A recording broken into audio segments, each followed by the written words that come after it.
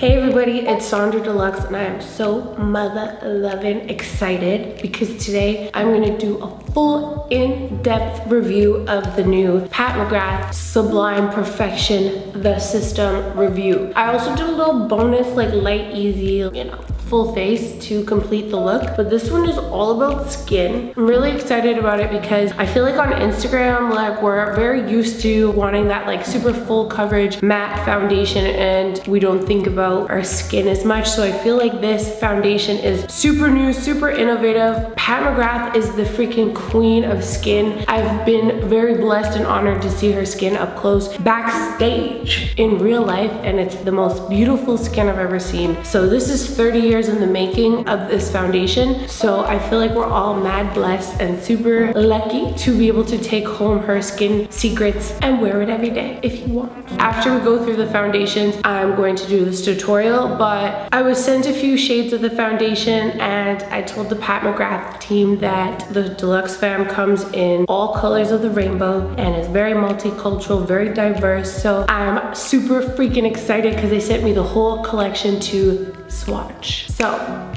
you wanna see your shade in comparison to mine, I'll let you know which one mine is, but I'm like hella stoked because I'm about to swatch all 36 shades. So it comes in 36 universal color choices, which I think is amazing. And when I was able to go to her masterclass in LA, a lot of the artists only take 12 to match all of the models. So if you're down to like, you know, mix and match a little bit, or if you just want one that's just for you, she has 36 shades. If you're a makeup artist, you could probably get away with having the 12 or the 10 or whatever. That's how I started. We used to have to mix everything, but it's a really beautiful range that gives you beautiful, youthful, healthy looking skin.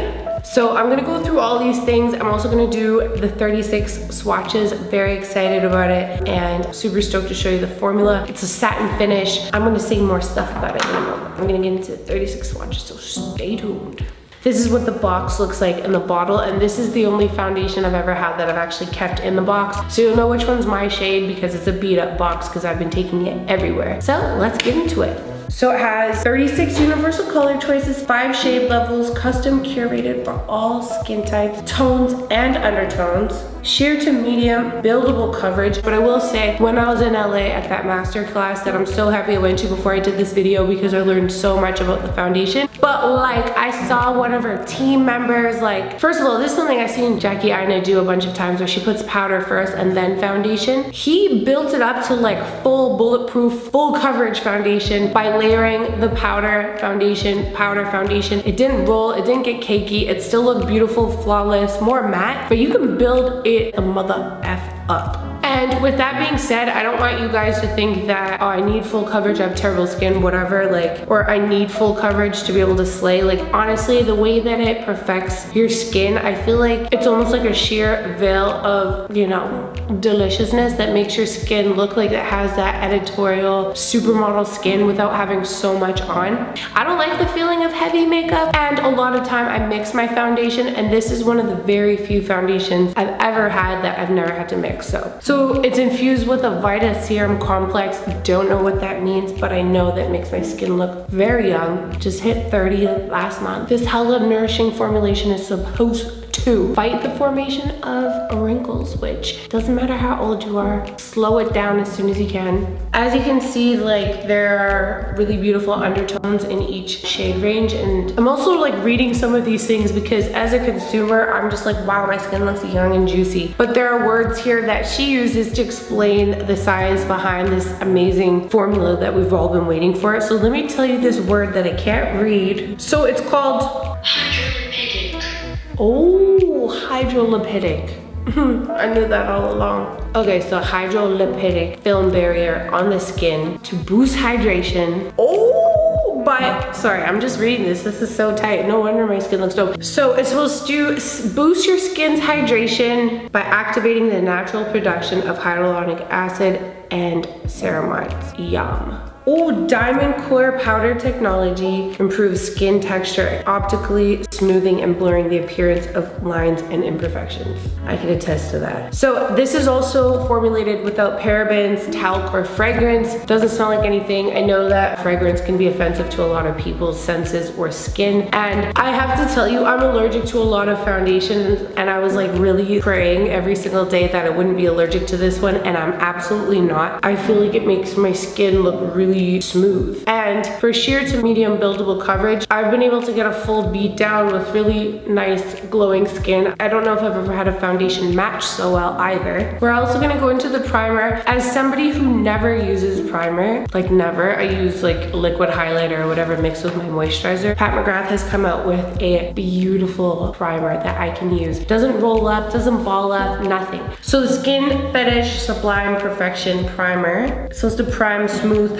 hydrate. Makes your skin look like super duper silky too. In the video, I'll show you my pores like hella up close with and without. It's like a super smoothing, skin refining, delicious soft like butter primer. So one other pro tip that I got from her was that if you have super oily skin, you can skip moisturizer because this is moisturizing and still get a really hydrated look and you're still feeding your skin with all that it needs without adding so many layers. So if you have oily skin, just skip right to the primer, skip the moisturizer, do your eye creams or whatever, and then go into the foundation and it's freaking bomb. So it's actually infused with hyaluronic acid. Everyone's raving about that. And it's like a super major moisture magnet. So it helps to keep your youthful qualities, which is why I probably feel like a 16 year old girl right now, you know? Which actually helps with your suppleness, elasticity, tone, feel like anything on the skin. Like I feel like I have nothing on. I don't have to worry about touching my face because I don't feel like it, I don't feel like I'm wearing anything. Skin Fetish Sublime Perfection Setting Powder. So this one's available in five shades. It's like a super luxurious, soft, blurring powder that you can make super matte, but if you're super dry and you don't wanna look aged, which is what I find with a lot of powders, this is a good way to kind of blur and give you that like luxurious silky touch that will set your makeup without it looking cakey. And again, you can really layer it with the foundation to get that super full mother loving coverage that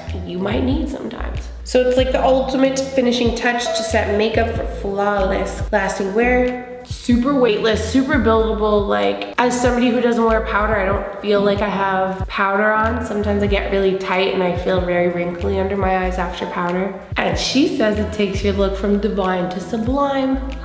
It's super flexible. Like I said, you don't get that dry, tight feeling that makes you feel old. If you're super oily, you can really layer it on. It builds up the bomb. This is also without parabens or fragrance, so yeah. So we've also got two brushes here. Obviously I just used them to beat this face. I'm a finger girl. I know Pat McGrath is a finger girl too. I've seen her do it, but she's created this like really beautiful dense brush to kind of buff in your foundation. I actually buff in my concealer with this one, but I've been using it to do my concealer instead of a sponge and it goes on gorgeous and it mixes really well with the foundation. This has actually been tested backstage. I've seen it. It's really great to get into controlled areas. It's small enough you could contour with it, cream product, whatever. And this is really good to help buff in products. So it's got kind of these very fine little furry tips that feel almost like a sponge without absorbing all of your product. And it's really good to kind of buff it like this to get a really sheer veil or layer it by stippling it and it doesn't give you those streaks or any type of dots or whatever that you get with the brush. So even when this is wet, it doesn't all stick and clump together like a lot of brushes like this. It stays really fluffy and smooth, which I like. Next up, we have the Sublime Perfection Powder Brush. So this is the same, it feels like the same type of hairs. So this is a little less dense. So I actually did my contour, highlight, and powder with it. I love that you can just dust on a small amount. Um, it really helps to pick up product evenly, easy to dust off like that so you're not putting like a ton of product on. Even if you bake, you could pull up a lot and then, you know, tap it underneath and then use the same brush to kind of lightly wisp it away. It's dense enough to get, you know, snatch stuff up, but it's soft enough to buff things in. So let's dive right in. So first up, I'm gonna start with the Skin Fetish Sublime Perfection Primer. I love this primer, especially for someone who doesn't wear primer. I really do see a difference on my pores and the moisture in my skin skin. As I said before, you can totally skip moisturizer if you have very oily skin, but I have dry skin, so I use both. but it's the business and this is what it looks like just on bare skin. So if you just wanted to like step out with blurred, perfected, youthful looking, smooth hydration, then uh, please wear it on its own. Next up, I'm gonna use the Skin Fetish Sublime Perfection Foundation. And I personally really love to use it with my fingers, obviously, but you can kind of go in with one layer. It is light to medium coverage, so if you just want a really, you know, quick light coat or layer. You can just massage one layer in, whatever. But I'm gonna do two layers, but it's nice if you let it sit for a second. So I'm just gonna massage this in. You can add another layer if you want, but it just kind of melts into your skin and transform into your skin. Like the color range is genius. There's no funky colors. Like every single shade has a purpose. So I'm also going in with the light medium 14 to use as a little bit of a highlight. Now, if you wanted to be real extra, you could put powder over this, let it set, and then put another layer. You could actually build it up to concealer, but I just wanted to show you what it looks like as a highlight because it'll give you that really fresh, dewy skin look, which is what I want for this, you know, skin fetish look. I'm gonna highlight the highest points of my face, so center my forehead, center my nose, around my mouth, you know, blending it in, and I'm using the Skin Fetish Sublime Perfection Foundation Brush. Then I'm gonna go in with a tiny bit of cream concealer and just go in the under circles of my eyes and just on my lids to hide any veins I have on my lids and any darkness. Not really doing my full beat down highlight because we already did that with the other foundation. I was very naughty last night and kind of faked my face, shouldn't have done that. So a little extra concealer right here. And I'm gonna go in with the medium deep 22 again, which is my skin shade. And I'm gonna do another layer on top because I want that radiance and I want a little bit more coverage. So this is going from more of a light medium to a medium to full if you want it to be. But look at that, I don't have perfect skin and it's looking delish.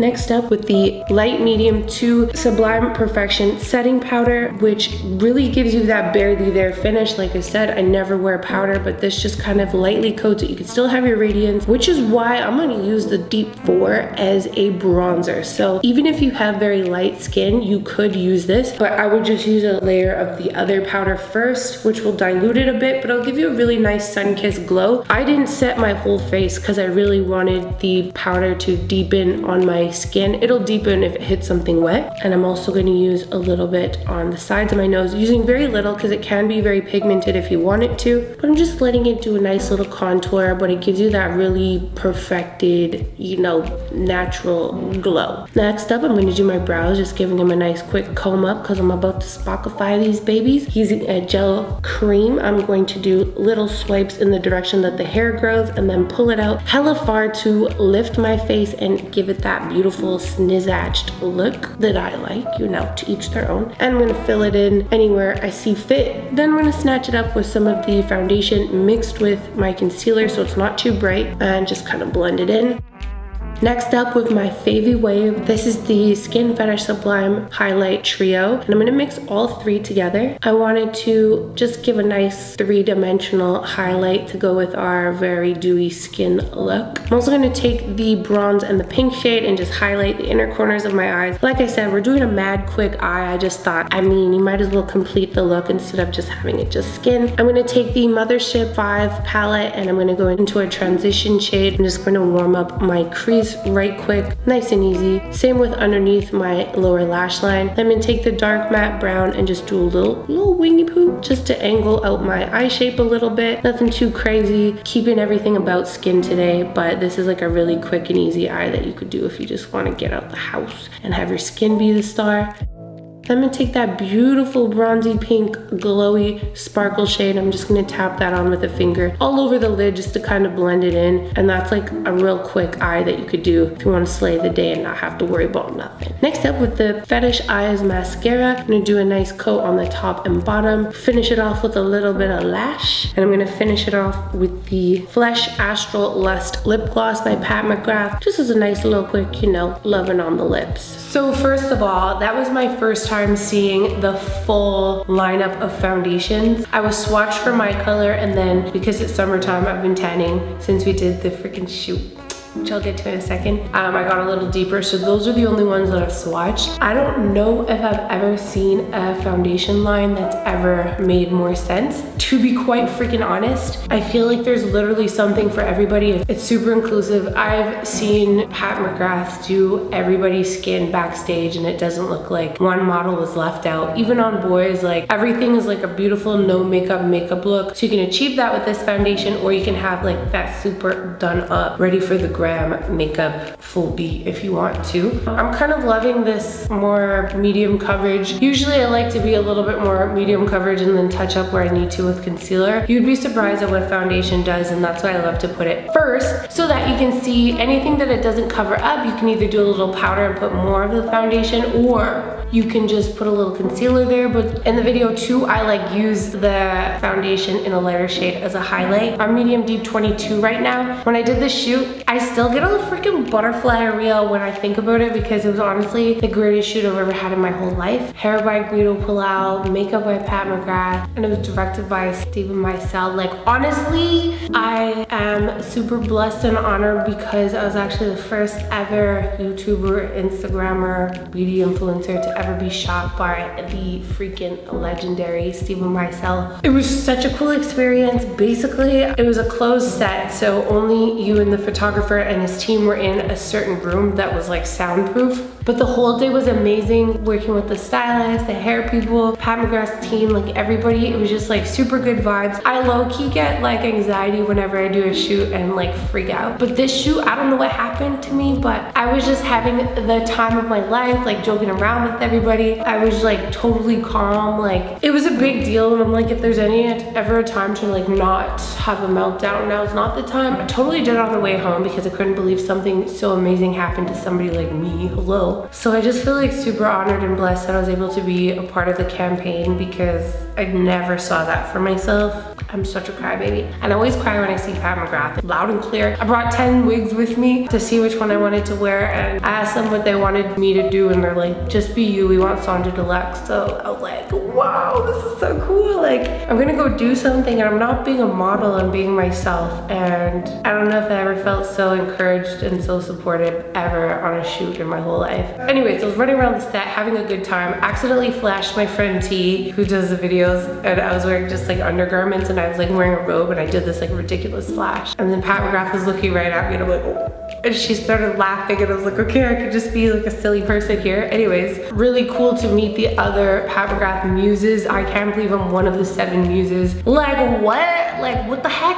It's really cool when people see you greater than you see yourself. And I think it's like a true testament to never get in your own way and feel like you're not anything special because it could be blocking you from receiving how great other people might see you. And that's what I really experienced because I feel like as an artist, we get emo when I get in my head. And it was just cool to be celebrated as myself and to be a part of something so huge. So, I mean, I'm like a humble person or whatever, but I also got a freaking little, you know, little write up in Allure magazine. I got mentions in Vogue UK and Vogue US. What the heck?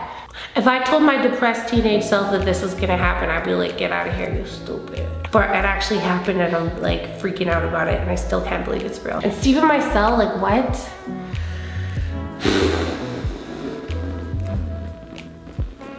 I'm just a regular girl, man. Anyways, it still makes me freak out. I wanna show you. You should have seen me the whole day. I felt like I was floating. I don't even think I was walking. Everyone was floating. Steven Meisel, motherfucking flipped my hair and touched me, shook my hand and gave him a hug. Same with Guido Pat like Joe McKenna, like hello. And of course, just be, being a makeup artist, I've been a fan of Pat McGrath for so long. And just to be able to have communication with her to talk to her and, and then to be a part of something like this, like, I don't know. I'm trying to keep it together right now because I did my makeup and I don't wanna I'm kind of a crybaby, but I'll definitely probably take a little tear moment after this video, but I'm really excited to share this with you. And fangirl aside, this is like actually a really dope, really dope foundation. I'm excited to see it in the beauty scene. I feel like Instagram has shifted a lot of things in the makeup community. I feel like she kind of gives you a little face tune, a little youthfulness in real life with this. So I've been waiting for this for a very long time. Every time I've seen her in the past, I've been like, so like, are you coming up with skin or like what's good? Because I always see her do these beautiful skin things backstage and she's super known for skin. So this is like a very exciting time for myself as a makeup artist and I can't believe I'm a part of it. I'm gonna have that for the rest of my life and I'm really excited about it. So without further ado, I won't blab. Stay tuned to the end of the video. I'll show you some little behind the scenes and little freak out moments and I hope you enjoy this review and little makeup demo. So thank you guys so much for watching again. What Thank you so much to Pat McGrath for including me in this campaign and also being one of your muses. Like I'm so thank you guys so much for watching. Huge thank you to Pat McGrath. What? Pat McGrath Labs. Congratulations on the new launch. Very excited. I got a little puppy here that's sitting on my lap and he's like very tired. I'm like, I'm talking about foundation. He looks like he's like a medium 20 or something like that, you know, like his shade maybe, maybe a medium 21, I don't know. But thank you guys so much for watching. Don't forget to share, subscribe, follow. Love yourself, stay pretty, and love yourself like an opening for other people to love you too. And so that other people can love themselves around you and stay pretty. Even if you don't believe it, be it, because you is. And I'll see you guys again in the next video. Take care. This is my best friend and I love him so much. Anyways, take care.